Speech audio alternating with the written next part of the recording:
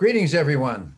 We're coming you, to you today to discuss the issue of blood clots, especially with relationship to the vaccines. There's been a lot in the press about this and a lot of information, and we'd like to uh, provide a little bit clarification today.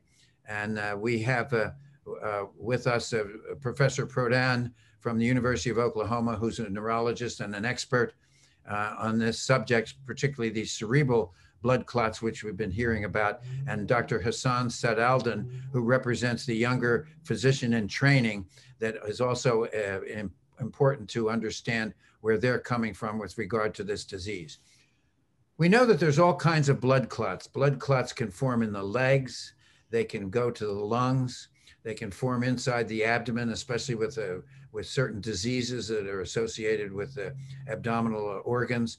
Uh, they can also form in the arms particularly when artif- when lines are put in the arms uh, to for drug infusion, but also uh, cerebral blood clots. Now we use the term strokes, and and uh, we'll ask Dr. Prodan to uh, not only discuss uh, the different types of strokes very briefly, but also this special issue we've seen a lot of in the news of cerebral sinus thrombosis. So it's a great pleasure to have you with us today, uh, Dr. Prodan, and we look forward to your remarks. Thank you. Thank you. So with uh, with uh, COVID in general as a disease, we see we have seen an emerging uh, field of reports about about clots. Uh, now I'm a neurologist, so uh, I will naturally focus on clots that involve the brain. But as you know, there are clots in COVID that involve a lot of other organs, PE involving the lungs, uh, kidneys, and so far. For brain specifically, we've seen reports that indicate that uh, they're clots that lead to strokes, clots involving large vessels in the neck or smaller vessels in the brain. Uh, sometimes strokes that uh, are part of a hemorrhage, in other words, a, a, bleed inside a brain because of vessel ruptures. And more recently, uh, there's been reports associated with COVID vaccine looking at an entity called cerebral venous thrombosis, which are clots that are inside the venous system, inside the vessels. Uh, that are slow flow, lower lower volume, slow slower flow in the brain. Um, these are um, rare conditions that happen in the general population, but all these all these entities have been described in in COVID. Well, thank you very much. Um, that was very informative. Now, I've been told that uh, a lightning strike will affect about one person per million during their lives. And I would like to tell, I would like you to tell us based on your experience, how does that compare with the number of people that get a vaccine and the chances of them developing a thrombosis with that uh, from the vaccine?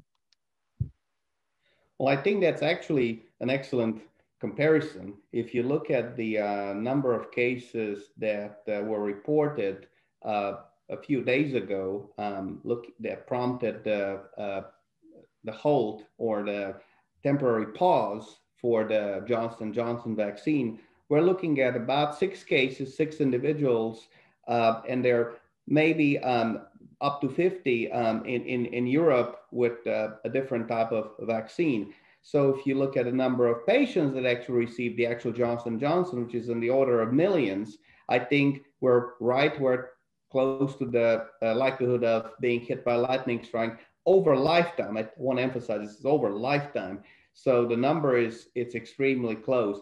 The actual number of uh, uh, people that develop cerebral venous thrombosis in the general population, this is separate of COVID, is way higher than that. Well, thank you very much. So the uh, the next question I would have is, uh, am I am I uh, uh, um, are, are, these blood clots common? Uh, uh, what about in the general population? You know, we have uh, all sorts of people that develop blood clots. Suppose you get COVID 19. What is your, what, I, I have seen figures that up to 20 to 25% of people will get a clot. And uh, uh, more than that, some of those patients will be very severely uh, affected Sometimes they'll even lose a limb or part of a limb. There's a lot of problems associated with COVID 19 infection that is symptomatic and associated with blood clots. And what has been your experience in this regard? It is a common problem. And actually, um, if one looks at reports uh, from uh, probably one, some of the earliest reports coming out from Europe, we realized that the severe massive blood clots that happen in the lungs and which could be potentially deadly are happening in a very large percentage of these people. I think 20% is what I see here, 10 to 20%, but in the people are very sick, those are people admitted to the intensive care unit. We may be looking at much, much, much higher numbers of patients with COVID that develop clot related problems. Uh, of course, the number in the general population, it's lower than that. And that's because with COVID, uh, people have a tendency to have more often clots. Now, comparing those numbers with the minuscule numbers of one in a million chance of having a, a clot, such as CVT, after the vaccine, it clearly, in my opinion, the balance uh, between risks and benefits is clearly tilted towards the benefits. You, you're looking at a huge benefit from preventing preventing this condition. And I want to take just one minute, uh, Professor Caprini, and just go to one more one more point here. The number of people that develop blood clots with COVID, it's probably underestimated, and because really these individuals that become admitted to the hospital extremely sick they're extremely sick they require ventilatory support they're unstable. So the number of tests or the type of tests that we can do with every single patient to find these clots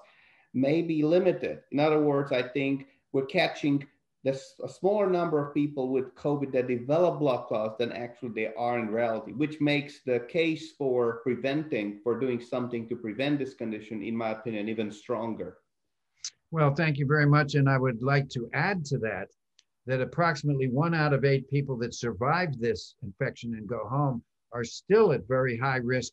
They have shortness of breath, they're weak, they can't eat properly, they have neurology symptoms of various kinds. So, this is a really serious disease. And I think the punchline from all of us is for God's sake, go get the vaccine. Get it Absolutely. as soon as you can. Absolutely. Now we have with us uh, Dr. Hassan Sadaldin, who's a, a, doctor in training. And uh, I would like to have uh, you, uh, Hassan, uh, share your views with us about how you young people and especially young physicians feel about the vaccine and, and these problems. So for me, I think um, I have no doubt I'll get the vaccine as soon as my turn comes and as soon as I start my rotations. But I also want to ask about those friends of mine that say, and younger people say that I want to wait. I want to wait until everybody gets the vaccine. I don't feel um, confident about getting the vaccine because of complications. What What's your message to those younger guys that are not well informed? They watch the news, they see all this chaos, and they now they have more fear of actually getting the vaccine. Probably the best thing to do is to stop watching the news because we've just outlined to you, and, and I have a YouTube site and, and all sorts of ways you can get a hold of me. We'll give you actual data. And, and as, as Dr. Prodan says, it's very, very rare. Six, 10 cases out of 6 million, 10 million, 20 million, compared to 20 to 25% of people that get a that get the vaccine. And um, I mean, that, that get the COVID 19 infection. So it's very, very important for you to get vaccinated vaccinated early. And if you have reactions to the vaccine, that means you're developing good immunology. You can't get the disease from the vaccine because there's no dead virus in there. It's a totally different mechanism. So I would encourage everybody to go out and, and get their vaccines. And, uh, you know, uh, the other thing is that uh, one needs to make sure that you uh, find out that uh, about your own risks and what your risks are in the general population before you get sick. And then that that would mean for those people that are high risk, that may would make it even more mandatory that they get the vaccine and get it uh, get it soon. So I'd like to thank you uh, both for your contribution, and um, uh, please stay tuned for more information uh, to our uh, YouTube channel, and we'll try to bring you the latest and best data that we can. Thank you very much, and uh, thank you, Dr. Uh, Prodan, and thank you, Dr. Sadaldin, and uh, everyone. Have a nice day.